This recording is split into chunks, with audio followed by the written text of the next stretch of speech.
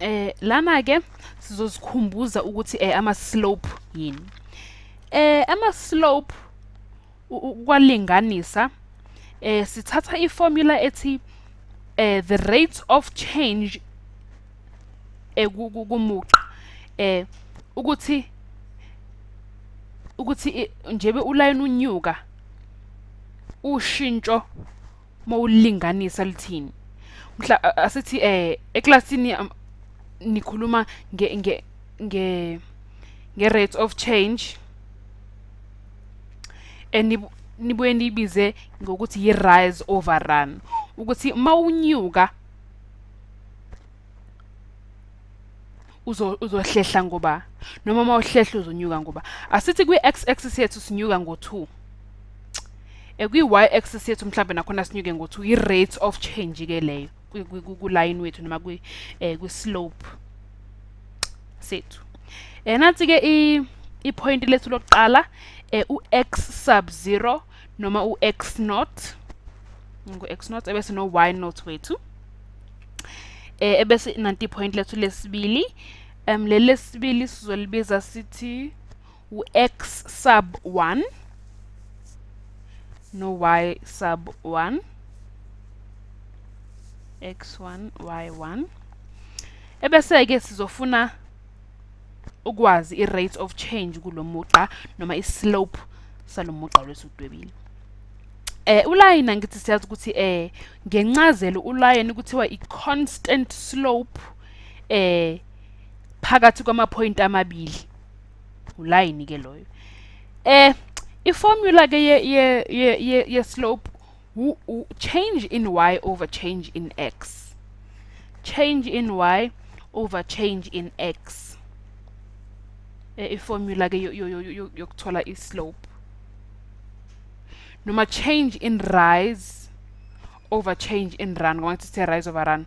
Change in y over change in x noma change in rise over change in run. Ukuthi change uma unyuka over umehluko eh uma usuka kakwesokunxele isandla uya kwesokudla. U change in y no change in x umele lokho. Eh lana ke singathi eh u change in y wethu u y eh u y sub 1 minus y sub 0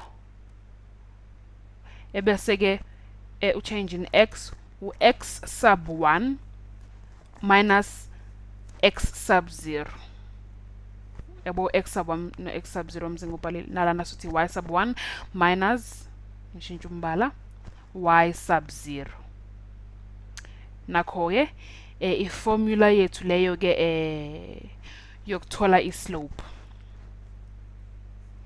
eh ukuthi i-rate of change i-rate yoshintsho eh kulomuqa esinawo ubani.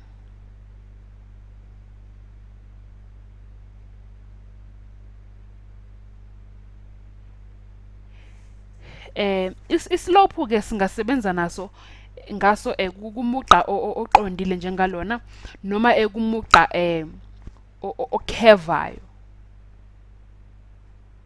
Eh noma kumuqa okhevayo nakhona singathola i islope sakhona singathola ukuthi eh ubani? Asibheke ke la nansi iplane yethu la sodweba khona islope sobe sisebenza ngaso. mm nakhona sizoba namapoint amabili u-x no y. Asidwebeke. Ngethemba ipeni lami liyasebenza nakho ke eh lana ke sizonyuka uyabona ukuthi kuyakheva kancane la. Sizonyuka. Nanko kumugqa wethu. Ebese ke ngishintsha umbala nanti point lethu lokuqala lana ke sizofuna ukuthola ushintsho lika y eh mayelana eh nelika x kule curve. Ngoba le curve phela yi non linear curve akuyona akuwona umuqa oqondile. Nanka ke khona y2 no y1 no x2 no x1 ngoma point ethu. Eh ngakho eh uma sisesenza eh ukulinganisa islope sethu siyazi ukuthi sisebenzisa i-formula ethi change in y over change in x noma um, y2 minus y1 over x2 minus x1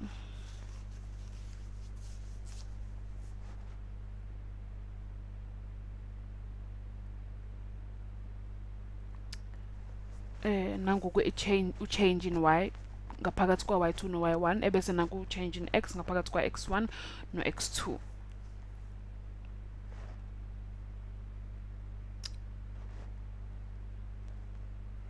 eh u-y2 over y1 over x2 minus x1 ke i-average rate of change kulayini x2 minus x1 average rate of change kulayini ukuthi eh uma unyuka uhlehla ngobani. Silinganisa lokho ke.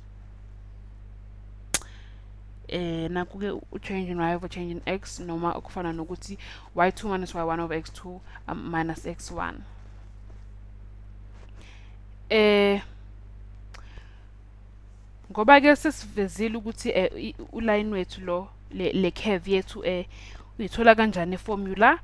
Eh umugqa o intersector i-curve eyindaweni ezimbili njengalo engudwebayo umugqa o intersector i-curve eyindaweni ezimbili kuthiwa ngi-secant line secant line. Yabona ukuthi u-intersector le curve esinayo eh la ka x nala ka y i-second line igama lalowo muqa nakho ngudwebile ngombala wami omhlophe ke i-second curve yethu ngaphezu kwe-curve yethu lesiqale ngayo. Eh i-second curve nayo yasiza ukuthi sithole i-average rates of eh of, of change eh, kumugqa ngoba nayo phela iyasikhombisa ukuthi nje ngoba uhlehla unyuka ngoba.